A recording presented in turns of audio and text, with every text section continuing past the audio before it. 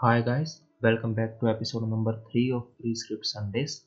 This week I have a simple and small add-on for you. It's called Transfer Images and it allows you to transfer images from one UV map to any other UV map.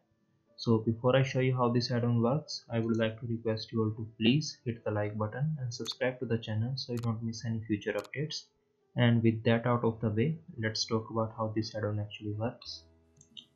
So as an example, I have this image of a road sign and I have already set up the initial UV maps that I want to use. Now let's add a new UV map. Select everything, press U, project from view, scale it up a little bit.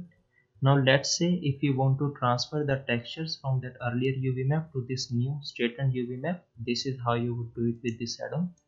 Make sure the object is selected and in the shader editor, select the image node you want to use Press N to bring up the N panel and select transfer images option. Select the source UV map and the target UV map. You can check this subdivide option if the object is low poly and it can sometimes cause distortion while baking. So let's check this and hit OK. And as you can see, it automatically bakes the textures to this new UV map. You can use the same principle to extract textures from buildings and stuff or you can see this video by Ryan King Art that he posted last week for another great application of this process. And with that we come to the end of this video. I hope you liked it.